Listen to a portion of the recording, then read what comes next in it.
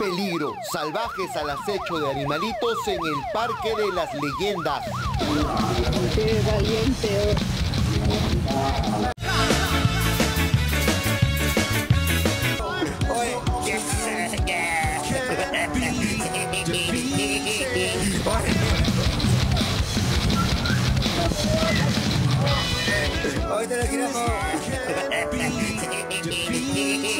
Nuestro canguro no ha atacado, se ha defendido de aquella persona inescrupulosa que ha ingresado y lo ha pateado en, la, en el pecho. Cuidemos a nuestros animales.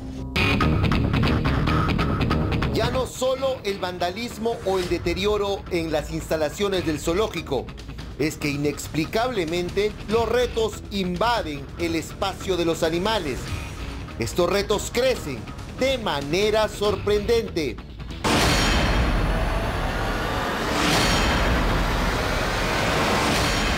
Aparentemente se trataría de las mismas personas, sin embargo, lo que ellos parece que están motivando es a crear retos y no se vaya a hacer viral, no se vaya a hacer una práctica de otras personas que también quieran cumplir el reto, es lo que estamos evitando, es lo que buscamos evitar en todo caso. Necesitamos dar con la o las personas que han estado involucradas, quién grabó el video, quién ingresó al recinto, para poder formalizar las denuncias penales que correspondan, ¿no?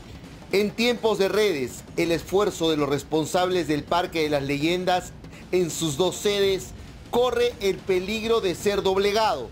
Acá en esta institución nosotros entrenamos a los animales. Lo entrenamos para que los animales sean dóciles. Y esa persona que entró, vio creo que este animal ha venido constantemente al parque, ha visto que el animal ha sido dócil, me ha visto trabajando. Llegamos al Parque de las Leyendas en Huachipa, alertados por imágenes que han motivado la natural preocupación de las autoridades del parque y sus cuidadores. Un sujeto se metió al área del cangurito que está en proceso de adaptación, motivado por un reto de las plataformas digitales, nada menos.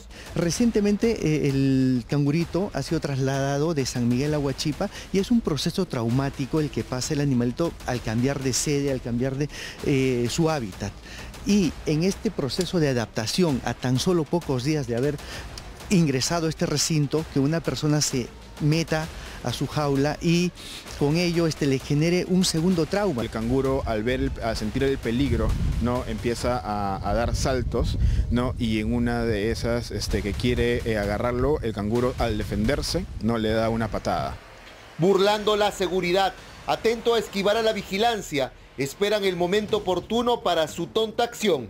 Frank de Anthony Calixto es el nombre y titular de esta cuenta de TikTok que sería el responsable de este reto. Hoy ha realizado vivos burlándose de la situación y pidiendo que los protectores de animales vayan por él. Y no soy anónimo, muestro mi cara. No tengo que estar bajo una máscara ni nada. Si quieren darme vuelta estoy acá, frente, estoy acá frente a Tokio no los espero. Vengan y hagan lo que tengan que hacer, ¿no? Em, ha pasado a las 5 de la tarde, ¿no? donde el parque cierra. Ahí es donde ha aprovechado esta persona para poder realizar estos actos delictivos. Aquello que es divertido para este tipo ha provocado atenciones especiales en el cangurito. Dado esta eh, negligencia que ha cometido el señor, no ha alterado este canguro y entonces está en observación. Y lamentablemente pues si por agarrar fans o algo quiere hacerse famoso está muy mal, pues, ¿no? En la zona de Rubén, el jirafa, se han presentado otros incidentes no menos indescifrables. Sí, hemos visto cómo es que ha entrado con el carrito, cómo es que está molestando la tranquilidad, invadiendo el recinto de la jirafa de Rubén. Hugo Pastrana, cuidador de Panchita, un tapir de edad considerable, revela los serios inconvenientes que soporta el animalito y que encima está expuesta a los salvajes TikTokers. Supuestamente es un diente que se le ha crecido para adentro, para arriba, y es hecho que inflame todo el párpado hacia la vista. Aquí este sujeto confesó y hasta tuvo la desafiante conducta de realizar un vivo, riéndose de la situación y hasta desafiando a quienes quieran ir por él. La gente que visita el Parque de las Leyendas tiene que entender que los animales poseen un régimen de alimentación, tienen emociones, son seres que sienten, que sufren de temores si alguien amenaza su espacio. No son modelos para las bromas y actos estúpidos como estos, escudados en retos de plataformas digitales. Que los responsables caigan y sean sancionados como lo merecen. Bueno, primero evidentemente tiene que tener una sanción porque no están entrando a un espacio al que no pueden entrar. Lamentable, sí. ¿no? Este sujeto, Claro burlándose. Se burla y cree que es divertido. Y lo segundo es que el mensaje va para los más chicos y los niños, ¿no? Que pueden, sí, pueden tener la idea de que esto es divertido, que es. les va a dar adrenalina y pueden ir a- ante cualquier animal. A mí me pasó una vez en el Parque de las Leyendas, un niño se metió al espacio entre la jaula y, digamos, la reja de protección del jaguar. De un, un jaguar. Y, y todos le decían sal, sal, sal.